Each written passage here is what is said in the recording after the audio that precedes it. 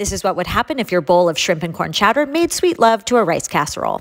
Combine fresh corn, scallions, arborio rice, coconut milk, clam juice, salt, red pepper flakes, and thyme in a bowl.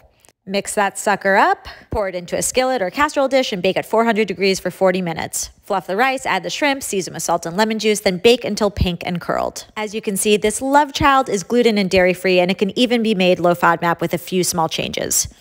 You can find the recipe for this perfect one pan gluten and dairy free dinner on feedmephoebe.com.